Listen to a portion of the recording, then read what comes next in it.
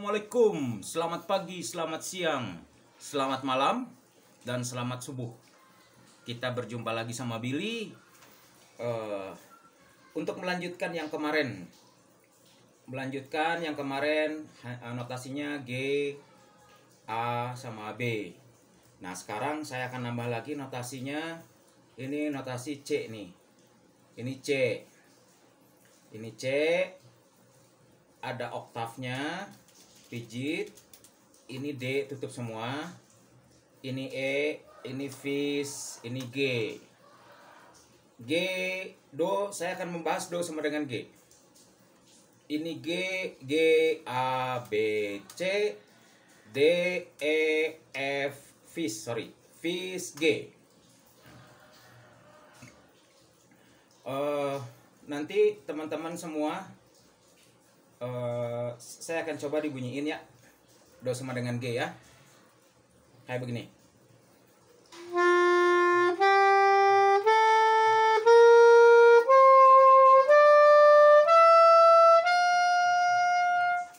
Biar kelihatan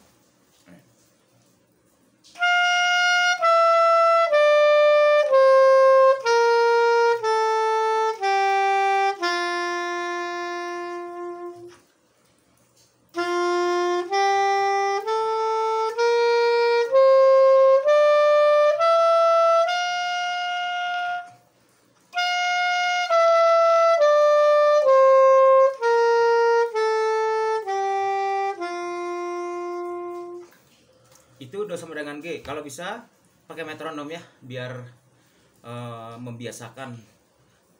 Biar ketukannya biar nggak lari-lari gitu. Oke saya coba pakai metronom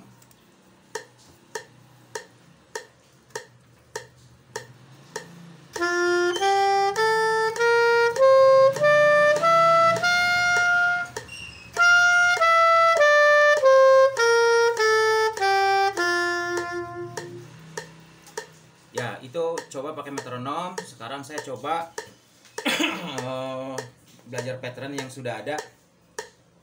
Saya misalkan kasih contoh nanti ikutin aja saya di sama dengan G ini. Kita bahas eh, untuk semuanya ya. Kita pelan-pelan aja belajarnya kita pelan-pelan. Saya akan ngasih tutorial yang nggak dari awal banget tapi kita pelan-pelan aja. Insya Allah kalau ikutin saya, insya Allah akan bingung. Oke, kita coba kita coba ya.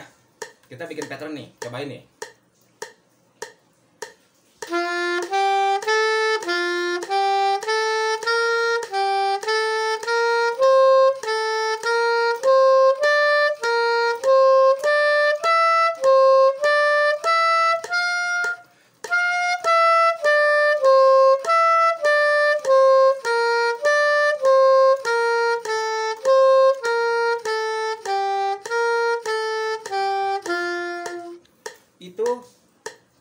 ascending descending bisa mau mau sama atau mau tidak sama itu bebas. Tidak harus sama silakan aja kreasi sendiri kreasi teman-teman semua. Tidak ada ketentuan harus bagaimana bagaimana nanti aja melihat dari hasil akhirnya. Ini untuk mencoba apa namanya biar ber- biar hafal di do sama dengan G. Misalkan contoh lagi kayak begini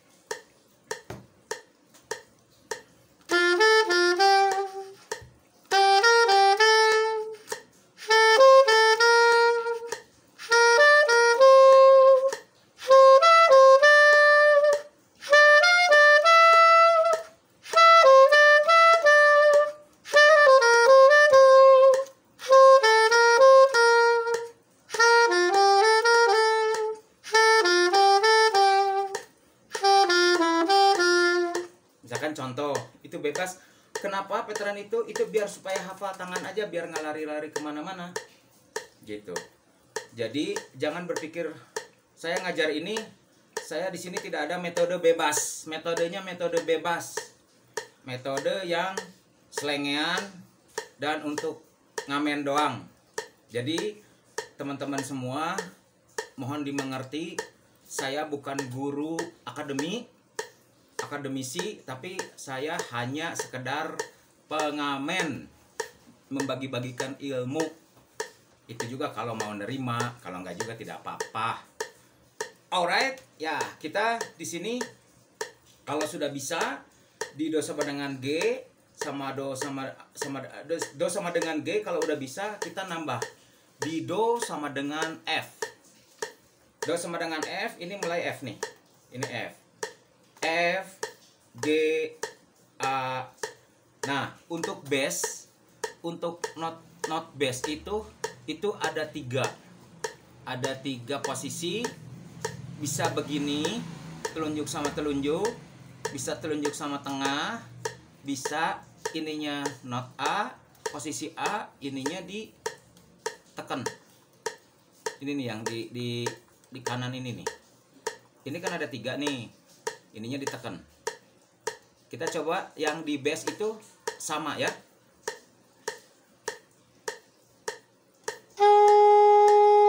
Ini telunjuk sama telunjuk nih telunjuk sama telunjuk nih ya.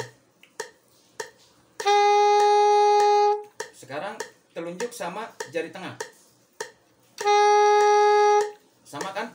Sekarang eh, ininya A ininya yang tiga ini ya. Di pinggir ini tiga ini oke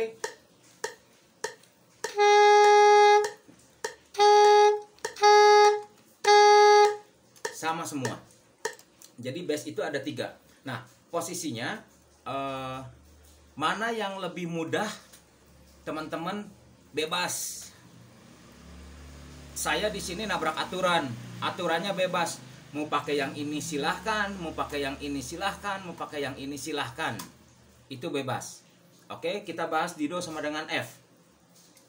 Oke, ini F, ini G, ini A, ini bass, ini C, ini D, ini E, ini F. Oke, saya coba bunyiin.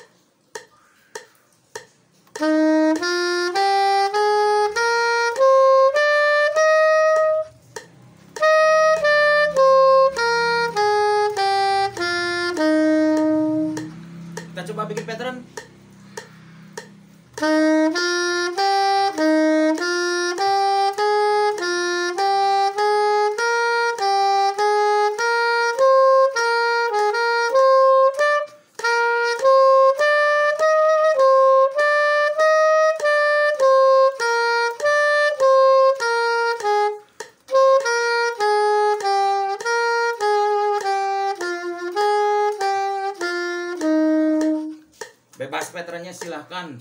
Teman-teman mau seperti apa Silahkan cari metode ke yang lain patternnya Yang penting saya menekankan dua kunci ini benar-benar harus hafal mutlak. Oke? Kita ada dua kunci nih. Dua kunci ini benar-benar saya coba lagi dua kunci ini. Kalau udah hafal ulang-ulang terus. Setiap hari ulang-ulang terus dua kunci ini ya. Kita coba dua kunci ini ya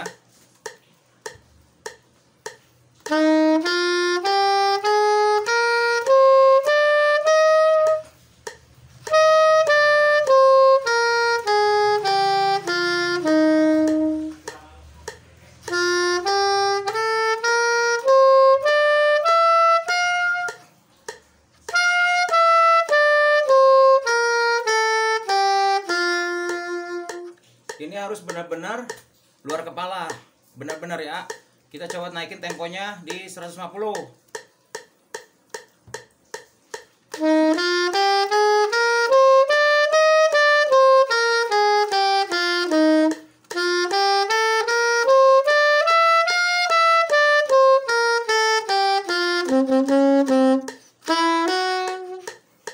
Oke, dua kunci itu jangan lupa teman-teman kita nanti sambung lagi kita pelan-pelan belajarnya kita santai kita bebas.